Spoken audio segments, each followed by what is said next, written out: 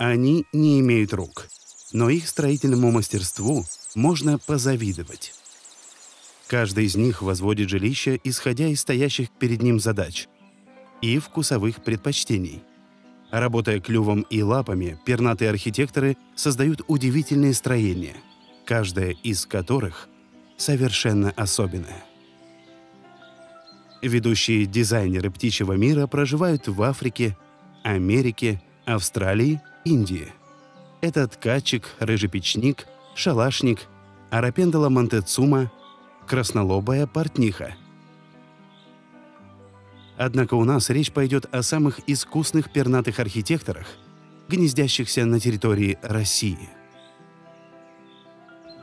Присмотритесь к самым обычным гнездам пеночки, дрозда, пересмешки. Как аккуратно и замысловато переплетены в них травинки, образуя корзиночку. Чтобы выполнить такую работу, нужно обладать незаурядными ткацкими способностями. Что уж тогда говорить о мастерстве Ремеза, который создает самый настоящий архитектурный шедевр, наподобие африканского ткачика. Вся конструкция напоминает варежку с дыркой на пальце, которая висит на длинной веревке на конце тонкой ветки.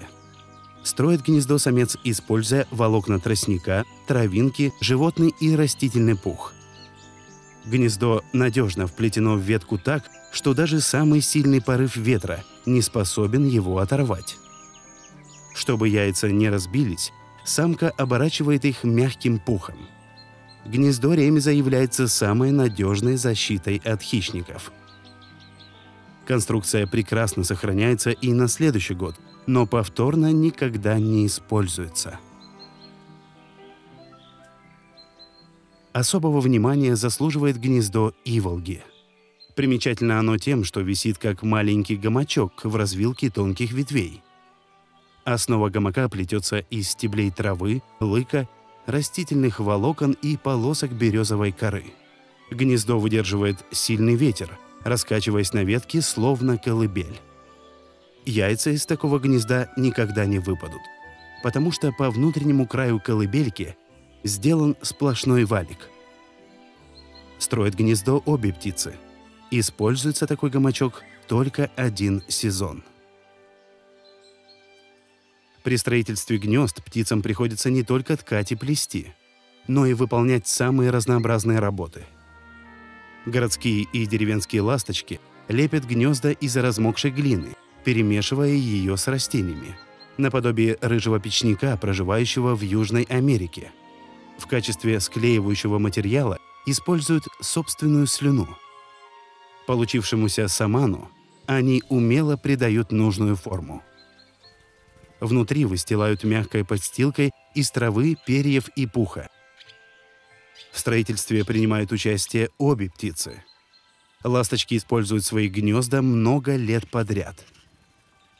Такие постройки можно встретить под крышей, карнизами, в оконных проемах любят селиться в сараях и гаражах. Интересные гнезда строят сороки. В строительстве принимают участие обе птицы. Жилища они строят из сухих веток. Оно имеет шарообразную форму с крышей и небольшим отверстием сбоку для входа. Сводчатый навес предназначен для защиты яиц и птенцов от природных врагов. Лоток гнезда обычно сконструирован из травы листьев, корней и обмазан глиной. Каждая пара строит несколько гнезд, но занимает только одно. Свои гнезда сороки используют несколько сезонов.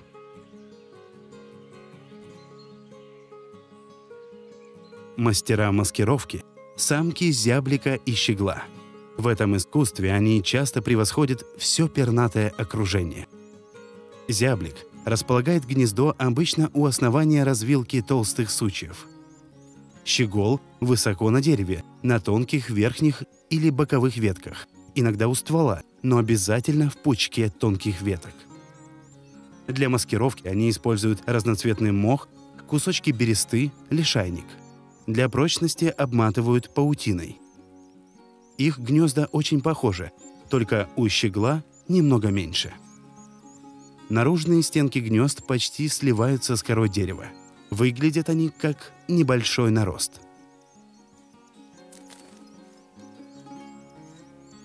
Отдельного внимания заслуживает гнездо певчего дрозда. Оно отличается от гнезд других дроздов.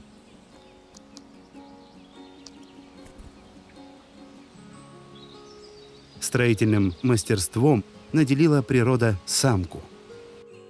Сначала она вьет основу из прутков в виде глубокой чаши. Затем, в отличие от других дроздов, внутри штукатурит смесью глины, древесной трухи и слюны. Для этого вращается на куче гнездового материала в разные стороны. Штукатурка выглажена с такой тщательностью, что иногда даже блестит. Зато снаружи гнездо похоже на кучу лесного мусора. Обнаружить его очень сложно. Такие постройки и на следующий год выглядят свежими – их могут занимать другие птицы, но сами дрозды для каждого выводка обязательно строят новое гнездо. Самое долговечное гнездо строит аист и крупные хищные птицы. Такие гнезда используются много лет подряд и постоянно достраиваются. С годами высота гнезда может достигать двух метров. Под его тяжестью может обломаться дерево. В стенках таких гнезд часто селятся воробьи и другие мелкие птицы.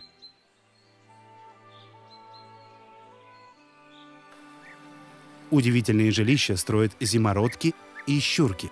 Лапками и клювом они роют норки в отвесных песчаных или глинистых берегах.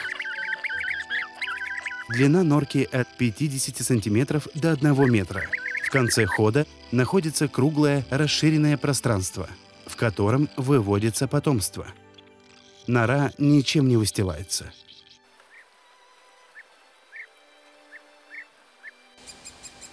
Дятлов природа прочно привязала к стволу дерева. Являются они одними из немногих пернатых, которым дом нужен круглый год, а не только на период вывода птенцов. В дождливую погоду и даже теплыми летними ночами они сидят в сухих, уютных дуплах. Жилье меняют два раза в год. Весной над гнездовым дуплом супруги работают по очереди. Осенью каждый строит квартиру для себя одного.